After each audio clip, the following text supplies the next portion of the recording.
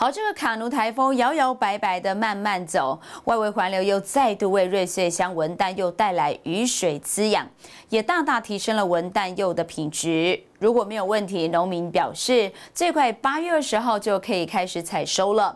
农会也已经展开文旦的促销推广工作，协助农民有好的农产经济收益。受到卡努台风的影响，瑞穗鹤冈文旦柚专区上空一片雾灰，闷热的天气，文旦柚农为文旦柚补水降温，期待台风降雨滋养大地。那文旦柚比较呃这个怕的就是在采收前呃两个礼拜呃突然降这个豪大雨，那造成整个文旦柚的这个呃会变得果皮比较厚，那也会产生呃内部裂果的一个现象。那所以呃这次的这个台风呃所幸啊并没有经过呃我们呃花莲地区，那因此对我们整个花莲的文旦柚并没有产生太大的一个影响。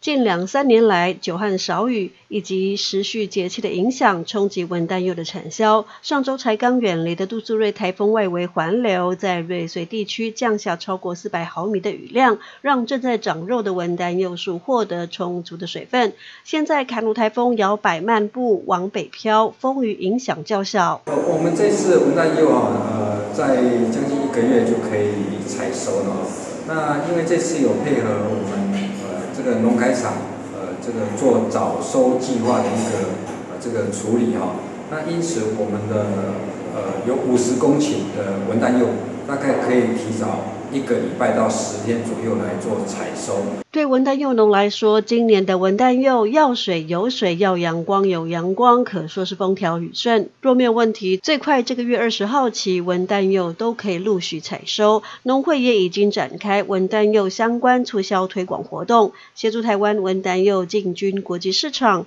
增加农民的农产经济收益。记者石玉兰对此采访报道。